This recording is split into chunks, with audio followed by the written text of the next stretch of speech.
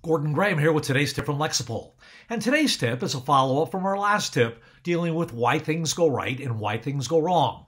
In our last tip, I introduced you to the risk frequency matrix, and here it is again for your consideration. My point in the last tip was rarely do we make mistakes on high frequency events, the right two boxes. Things we do a lot, we tend to do very well. When you start studying tragedies, too often they occur in the left two boxes, low frequency events, things we do rarely. Now, I don't worry about the bottom left box because that's low risk. Even if it goes bad, the consequences are de minimis.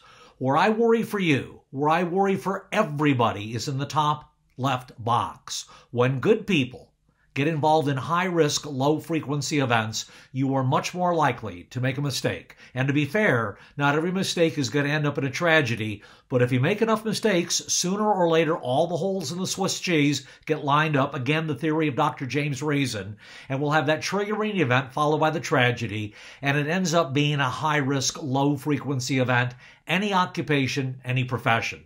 Now, if you're looking at that top left box, you'll see it's divided into two areas, the DTs and the NDTs. DT, discretionary time, you've got time to think before you act. NDT, non-discretionary time, you have no time to think, you have to act immediately.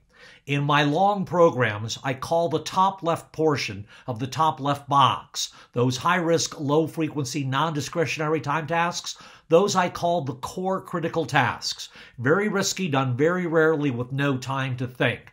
Those are the ones that scare me the most. The discretionary time tasks, if you have time to think, use it. But the non discretionary time tasks, those are the ones that require the constant ongoing training. That is the genesis for the Lexipol DTB program.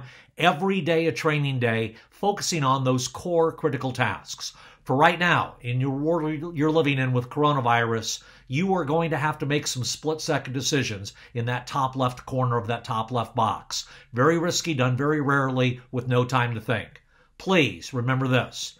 The overall mission of everybody in public safety is preservation of life. And every decision you make has got to focus on preservation of life. Please think that through. That's your job as a public safety professional. And that is today's tip from Lexipol. Gordon Graham signing off.